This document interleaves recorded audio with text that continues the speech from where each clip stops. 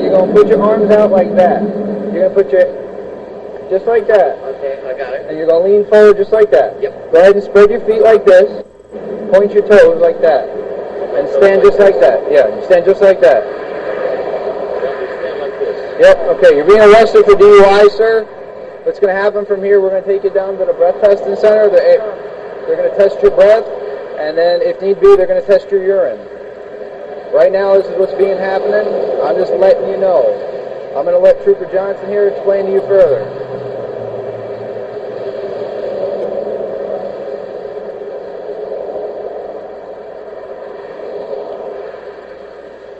You want me to bring your car up, or?